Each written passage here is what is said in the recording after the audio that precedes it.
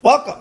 In this video, we'll be talking about how to design a logic model using SoPact uh, GPT for impact and sustainability. It's a powerful tool that can be combined with a power of data analytics and impact analytics that we built, SoPact Sense.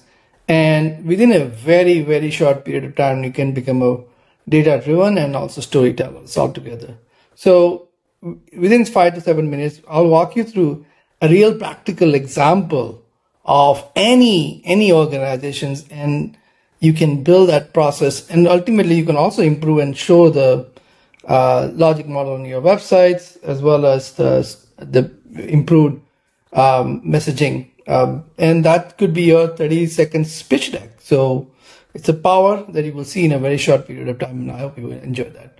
So to explain this process, I'll walk you through a logic model development process, which is either you need a well-developed uh, websites like Miller Center we have, which has its own sort of programs for entrepreneurship on how to really enable them uh, throughout the de- uh, developing country and focusing on poverty and many other social enterprise issues.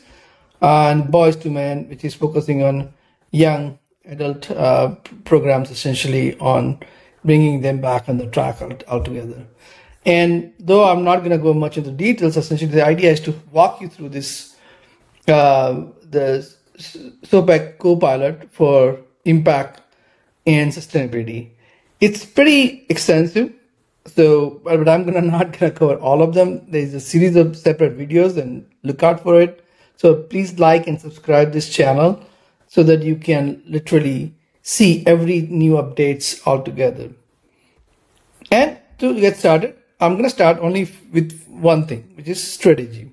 There are many other topics we have, data analysis, reporting. Again, I recommend you to look at those separate videos for that. So what can you do with the uh, strategy?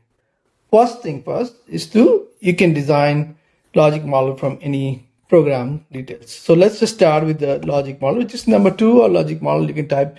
This is like any other AI chatbot. You can really design uh, and be interactive with them. So, so as you can see on the screen, the key goal here is to come up with a 30 second, very crystal clear problem statement.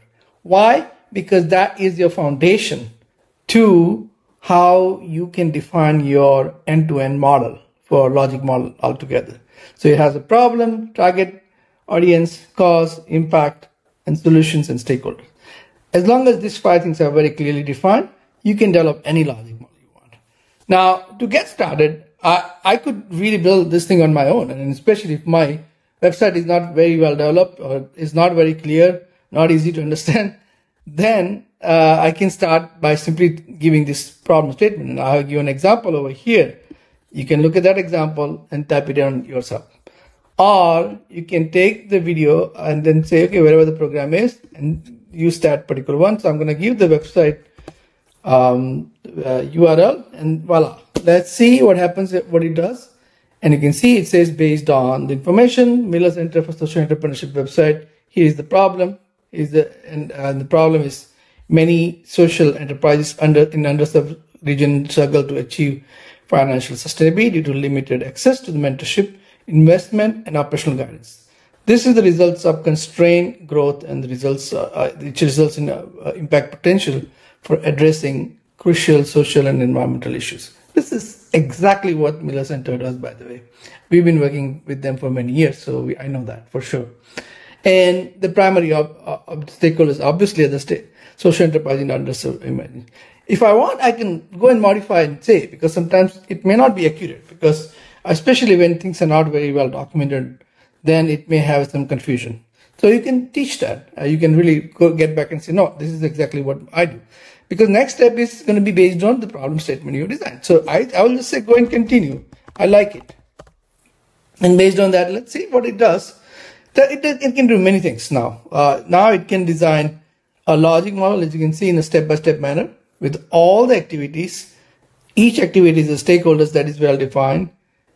Input, uh, outputs, activity, outcome, and the really the key question is: Do you want to modify any activities. And uh, in this case, activities that I have are uh, really a mentorship program for the learning program. And there are many activities that Miller Center could be doing. So I, I could ask to say, define more activities or I can give a specific activity as well. So It's a very interactive process. So this is reasonably well uh, accurate.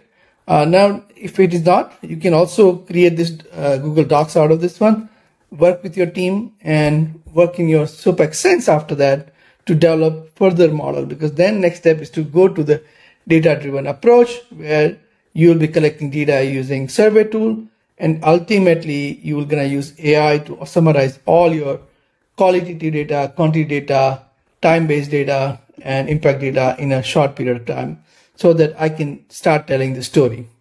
And we have a separate videos on storytelling as well. So I can go here and start building uh, the model. I can say now create me a table. So I can, do you want to uh, add any activities? No, uh, I'm, uh, I'm good. Uh, show me next. And I think what it's going to do now is to, it lets you play around with the different metrics process. It can, you can modify it. You can also ask to change this thing to, um, uh, uh, uh, public metrics as well, like IRIS and many other ones. And we have a separate video for that. Uh, and you build a table and verify it, or you can say, well, I need to add more metrics. And that's how you do it. And then I, I can continue and say, okay, fine.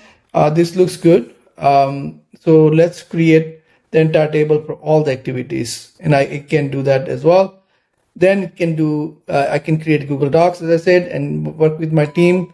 And, and uh, once it's finalized, I'm going to go to Sense and we have a separate window on that, how to configure that properly. Uh, and I can create a website copy. So if something is not accurate, it's going to go and create that. I also have a ways to create a beautiful visual uh, where you can build a logic model as well. So I hope this process was useful. Like I said, if this is something interesting, keep subscribing to it so that you can like it. And uh, our goal is to essentially help you further the knowledge of how to building thing. Like I said, what we described is step number one. We will ha we have an, another video that talks about how to use this thing in an impact SoPact sense, survey creation, data analytics, storytelling, dashboard, and communication.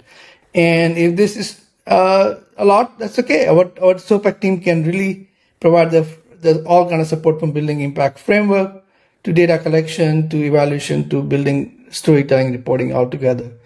Uh, so if you are in a crunch for fundraising in three months or so, uh, we are the best team to help you with it. By the way, uh, we have an amazing playlist. Um, I have described that in a YouTube video at the bottom. Please feel free to reach out to that and really uh, uh, play and uh, really see whether that really increases your understanding of the process. And last but not least, like and subscribe. And we are always here to help you. Thank you.